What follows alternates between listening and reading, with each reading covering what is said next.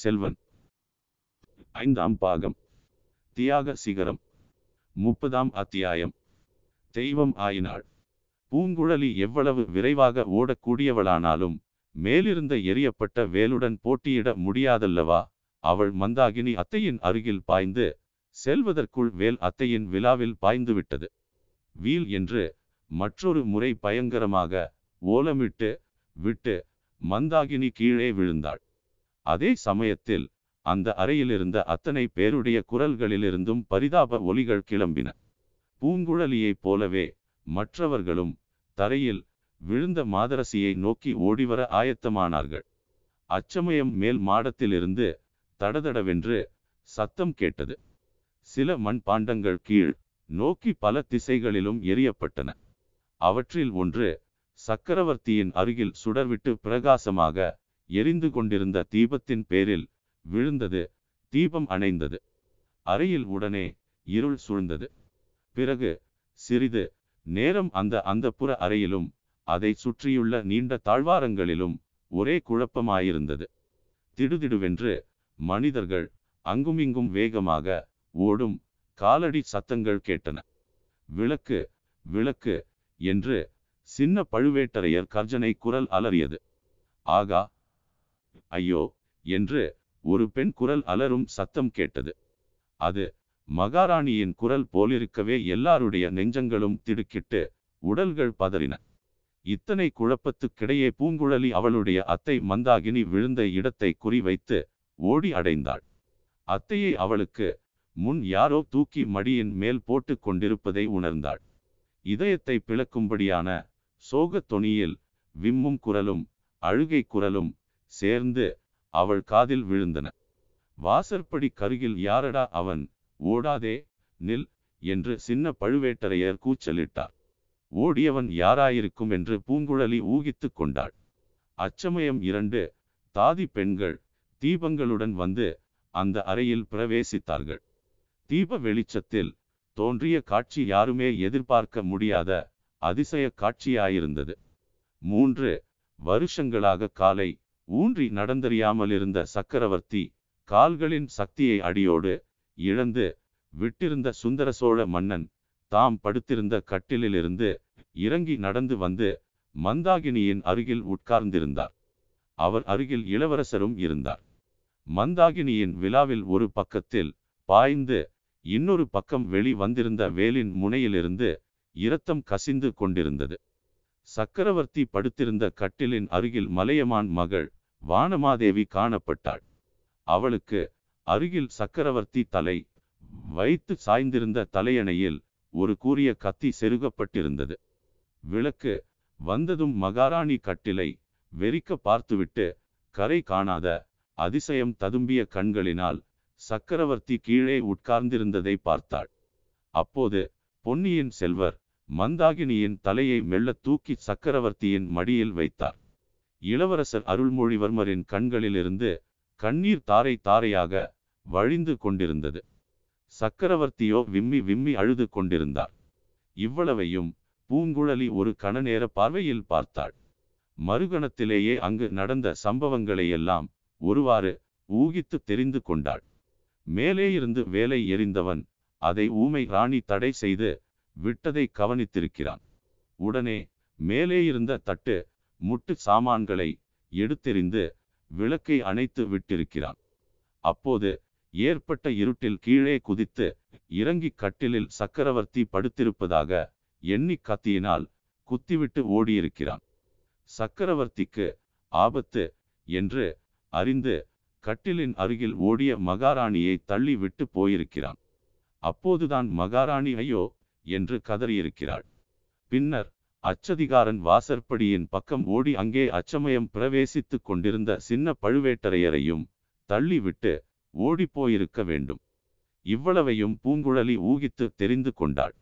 இந்த பாதக செயலை செய்து தப்பி ஓடியவனை தொடர்ந்து போய் பிடிக்க வேண்டும் என்ற எண்ணம் அவள் மனத்தில் ஒரு பக்கத்தில் உதயமாயிற்று. அதை காட்டிலும் தன் அத்தையின் இறுதி நெருங்கிவிட்டது என்ற நினைவு அவள் உள்ளத்தில் பெரும் கொந்தளிப்பை உண்டாக்கியது. ஆகையால் மந்தாகினி சக்கரவர்த்தியின் மடியில் தலை வைத்து படுத்திருப்பதையும் பொருட்படுத்தாமல் அவள் அருகில் சென்று மண்டியிட்டு உட்கார்ந்து அத்தை அத்தை என்று கதறினான். ஐயோ நீ சொன்னது உண்மையாகிவிட்டதே. பாவி நான் உன்னை தனியாக விட்டு விட்டு போனேனே என்று அழுது புலம்பினாள். ஆனால் மந்தாகினியோ அவள் இருந்த பக்கம் திரும்பி பார்க்கவே இல்லை.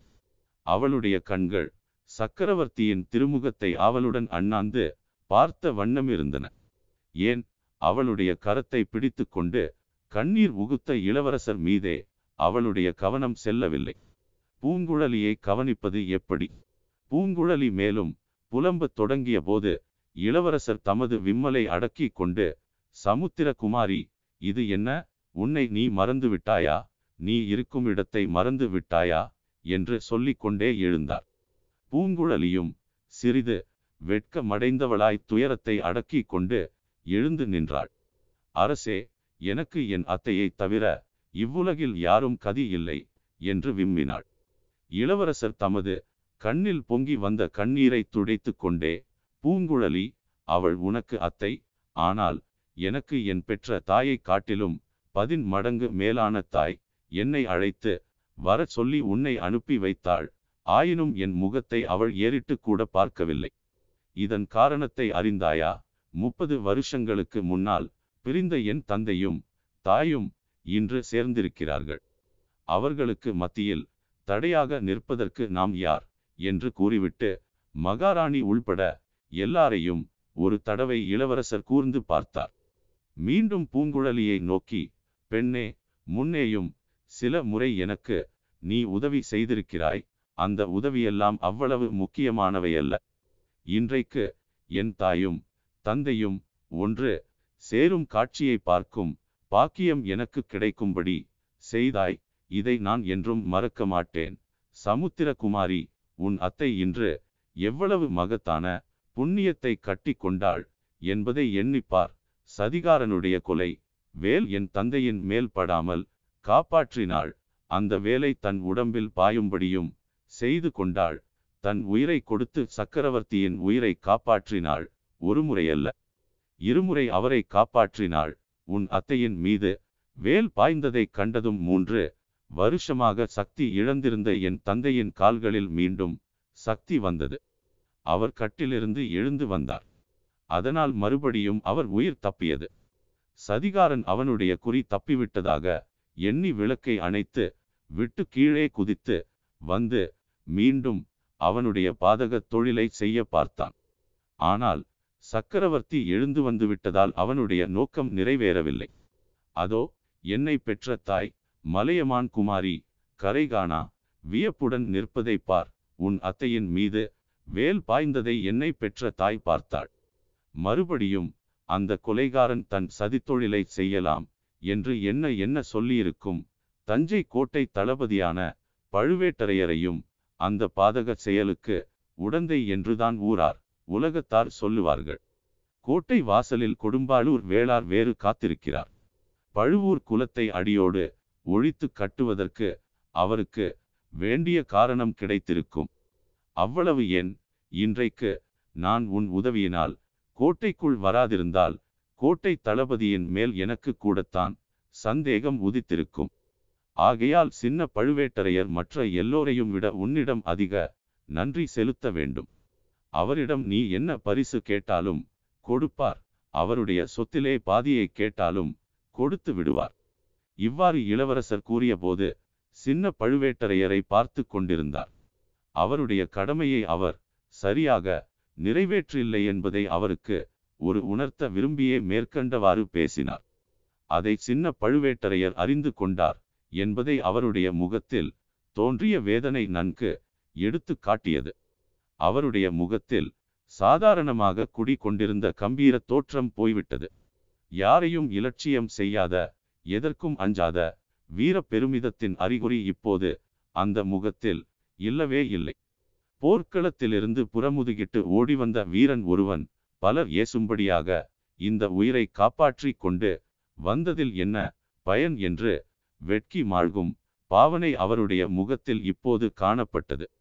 இளவரசர் முதலில் கூறியதையெல்லாம் கேட்டு உள்ளமும் உடலும் உருகி நெகிழ்ந்து கொண்டிருந்த பூங்குழலி அவர் பரிசை பற்றி சொன்னதும் பழைய ஆக்ரோஷங்கொண்ட சமுத்திர குமாரியாகி விட்டாள். இளவரசே எனக்கு யாருடைய நன்றியும் தேவையில்லை பரிசும் வேண்டியதில்லை. எனக்கு தஞ்சம் அளிக்க சமுத்திர ராஜா இருக்கிறார். என் படகும் கால்வாய் முனையில் பத்திரமாயிருக்கிறது. இதோ நான் புறப்படுகிறேன். ஒருவேளை என் அத்தை உயிர் பிழைத்தாள்.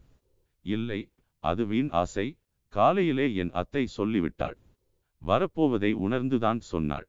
இனி அவள் பிழைக்கப் போவதில்லை. எனக்கு இங்கே வேலையும் இல்லை.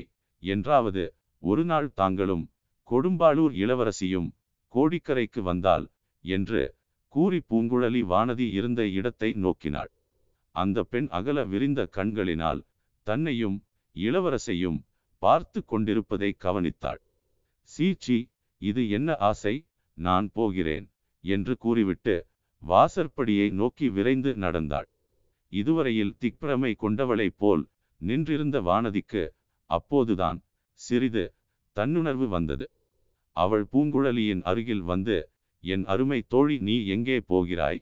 நானும் உன்னைப் போல் அனாதைத்தான். என்று மேலும் பேசுவதற்குள் பூங்குழலி குறுக்கிட்டாள். தேவி நான் தங்கள் அருமை தோழியும் அல்ல.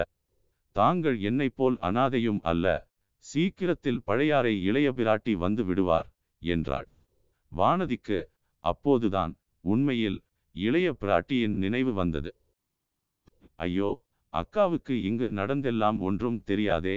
செய்தி சொல்லி அனுப்ப வேண்டுமே என்றாள். அதற்கும் ஒரு கவலையா கோட்டை வாசலில் தங்கள் பெரிய தகப்பனார் இருக்கிறாரே அவரிடம் சொன்னால் செய்தி அனுப்புகிறார் என்று கூறிவிட்டு பூங்குழலி வழிமறிப்பவள் போல் நின்ற வானதியை கையினால் சிறிது நகர்த்தி விட்டு மேலே சென்றாள். வாசற்படிக்கு அருகில் சின்ன பழுவேட்டரையர் மறுபடியும் அவளை வழிமறித்து நிறுத்தினார். பெண்ணே பொன்னியின் செல்வர் கூறியதையெல்லாம் நான் கேட்டுக்கொண்டிருந்தேன் அவர் கூறியது முற்றும் உண்மை. பழுவூர் குலத்துக்கு அழியாத அபகீர்த்தி உண்டாகாமல் நீ காப்பாற்றினாய் உனக்கு நான் அளவில்லாத நன்றி கடன்பட்டிருக்கிறேன். நீ என்ன பரிசு வேண்டும் என்று கேட்டாலும் தருகிறேன் என்றார். பூங்குழலி துயர புன்னகையுடன் தளபதி இங்குள்ளவர்களில் சிலருக்கு சக்கரவர்த்தி உயிர் பிழைத்ததில் சந்தோஷம். சிலருக்கு அவர் நடமாடும் சக்தி பெற்றதில் சந்தோஷம். இன்னும் சிலருக்கு பழுவேட்டரையர் குலம் அபகீர்த்திக்கு உள்ளாகாததில் மகிழ்ச்சி. என் அத்தைக்கு நேர்ந்த துர்மரணத்தை பற்றி யாருக்கும் கவலை இருப்பதாக தெரியவில்லை. நானாவது அதை பற்றி கவலைப்பட வேண்டாமா? என் அத்தையை கொன்றவன் எங்கே போனான் என்று தேடி கண்டுபிடிக்க பார்க்கிறேன். தயவு செய்து எனக்கு வழியை விடுங்கள் என்றாள். பூங்குழலியின் இந்த வார்த்தைகள் கோட்டை தளபதி காலாந்தக கண்டரை தூக்கி வாரி போட்டன. பெண்ணே உன்னிடம் நான் தோற்றேன். கொலைகாரனை விட்டுவிட்டு சும்மா நின்று கொண்டிருக்கிறேன். அவனை கண்டுபிடிக்காவிட்டால் சக்கரவர்த்தி பிழைத்ததினால் மட்டும் என் பழி தீர்ந்து விடாது உன் வார்த்தைகளில் நான் அவநம்பிக்கை கொண்டதே தவறு. கொலைகாரன் எங்கே போயிருப்பான்? என்னை தள்ளிவிட்டு ஓடினான். ஆம் ஆம் சுரங்க வழிக்குத்தான் போயிருப்பான்.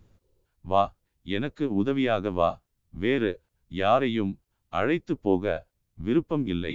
அவன் மட்டும் என்னிடம் அகப்படட்டும் என்ன செய்கிறேன்? பார். இவ்விதம் சொல்லிக்கொண்டே சின்ன பழுவேட்டரையர் தம் இரும்பு கையினால் பூங்குழலியையும் பிடித்து இழுத்து கொண்டு சிற்ப மண்டபத்தை நோக்கி விரைந்து சென்றார். அந்த அறையில் இருந்த மற்ற எல்லாரும் அப்படி அப்படியே நின்றார்கள். இளவரசர் விருப்பதை அறிந்து கொண்டு சக்கரவர்த்தியின் அருகில் போகாமல் தூரத்தில் ஒதுங்கி நின்றார்கள். எல்லாருடைய கண்கள் மட்டும் சக்கரவர்த்தியின் பேரிலும் அவர் மடியில் தலை வைத்து படுத்திருந்த மாதரசியை எண்ணிக்கொண்டேன் அப்போது ஏற்பட்ட வெறுப்பு உன்னை நேரில் பார்த்தபோதும் தீரவில்லை. உண்மையில் நீ எங்கள் குல தெய்வமாக வந்தாய். எனக்கும் என் மக்களுக்கும் தீங்கு நேராமல் தடுப்பதற்காக வந்தாய். அதையெல்லாம் நான் தெரிந்து கொள்ளவில்லை. என் மகள் குந்தவை எடுத்து கூறிய பிறகுதான் தெரிந்தது. ஐயோ எப்பேற்பட்ட தவறு செய்தேன். அதற்காகவெல்லாம் என்னை மன்னித்துவிடு. உன்னிடம் எனக்குள்ள அன்பை இனி எப்படி காட்டுவேன்? அதற்கு வழியில்லாமல் செய்து விட்டாயே என் குமாரர்களுக்கு பட்டம் கட்ட வேண்டாம் என்று சொன்னாய். அதன் நியாயம் எனக்கே தெரிந்திருக்கிறது. ஏன் தலையை அசைக்கிறாய்? என் நன்மைக்காகவும் என் குலத்தின் நன்மைக்காகவுமே சொன்னாய். அதில் தவறு ஒன்றுமில்லை. ஆனால் இங்குள்ளவர்கள் ஏதேதோ சொல்லி என்னை பைத்தியமாக அடிக்க பார்க்கிறார்கள். உனக்கு குழந்தை பிறந்ததாக சொல்கிறார்கள். அது உண்மையானால் சொல்லிவிடு. உன் மகன் இருந்தால் சொல்லிவிடு.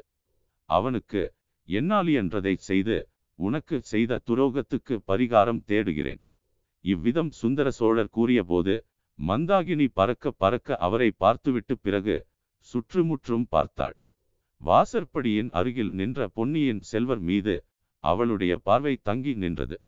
உடனே இளவரசர் தந்தையும் தாயும் இருந்த இடத்தை நெருங்கி வந்தார். தாயின் அருகில் உட்கார்ந்தார். மந்தாகினி இளவரசரை தன் கையினால் தொட்டுக்கொண்டு சக்கரவர்த்தியின் திருமுகத்தை பார்த்தாள். இவன்தான் என் புதல்வன். என்னும் பொருள் அந்த பார்வையிலிருந்து மிக தெளிவாக வெளியாயிற்று. இவ்வாறு இரண்டு மூன்று தடவை மந்தாகினி சக்கரவர்த்தியையும் பொன்னியின் செல்வரையும் மாறி மாறி பார்த்தாள். பின்னர் கண்களை மூடிக்கொண்டாள். சிறிது நிமிர்ந்திருந்த அவளுடைய தலை சக்கரவர்த்தியின் மடியில் நன்றாக சாய்ந்தது. மந்தாகினியின் உயிர் அவளுடைய உடலை விட்டு பிரிந்தது. சுந்தர சோழ சக்கரவர்த்தி விம்மி அழுததை இன்றுவரை யாரும் பார்த்ததுமில்லை கேட்டதுமில்லை. இன்றைக்கு அவர் ஓ வென்று கதறி அழுததை பார்த்ததும் கேட்டும் எல்லாரும் திகைத்து போனார்கள். இளவரசர் அருள்மொழிவர்மர் மட்டுமே மனத்தெளிவுடன் இருந்தார். அவர் சக்கரவர்த்தியை பார்த்து கூறினார் தந்தையே என் அன்னையின் மரணத்துக்காக தாங்கள் வருந்த வேண்டியதில்லை. அவர் மரணமடையவே இல்லை. தெய்வமாக அல்லவோ மாறியிருக்கிறார் என்றென்றைக்கும் நம் சோழ வம்சத்துக்கு அவர் குல தெய்வமாக விளங்கி வருவார் என்றார். ஆயினும் சுந்தர சோழர் விம்மி அழுவது நின்ற பாடில்லை. மந்தாகினியின் மரணத்துக்காகத்தான் அழுதாரா? அல்லது அதே சமயத்தில் வெகு தூரத்தில் நடந்த இன்னொரு துயர சம்பவத்தின் அதிர்ச்சி அவர் உள்ளத்தில் தோன்றியதனால் அழுதாரா? என்று யார் சொல்ல முடியும்? இளவரசர் அருள்மொழிவர்மர் கூறிய தேறுதல் மொழி மட்டும் உண்மையாயிற்று. பொன்னியின் செல்வர் பிற்காலத்தில் இராஜராஜ சோழர் என்ற பெயருடன் சிங்காதனம் ஏறியபோது ஈழத்து ராணி என்று அவர் அழைத்த மந்தாகினி தேவிகா தஞ்சையில் ஒரு கோயில் எடுப்பித்தார். அது சில காலம் சிங்கள நாச்சியார் கோவில் என்ற பெயருடன் பிரபலமாக விளங்கி வந்தது. நாளடைவில் அதன் பெயர் திரிந்து சிங்காச்சியார் கோவில் என்று ஆயிற்று. இன்றைக்கும் தஞ்சை நகரின் ஒரு பகுதியில் சிங்காச்சியார் கோவில் என்ற பெயருடன் ஒரு சிறிய சிதிலமான கோவில் இருந்து வருவதை தஞ்சை செல்லுகிறவர்கள் விசாரித்து தெரிந்து கொள்ளலாம். இத்துடன் இந்த பகுதி நிறைவு பெறுகிறது. அடுத்த அத்தியாயத்தில் சந்திப்போம். நன்றி. Música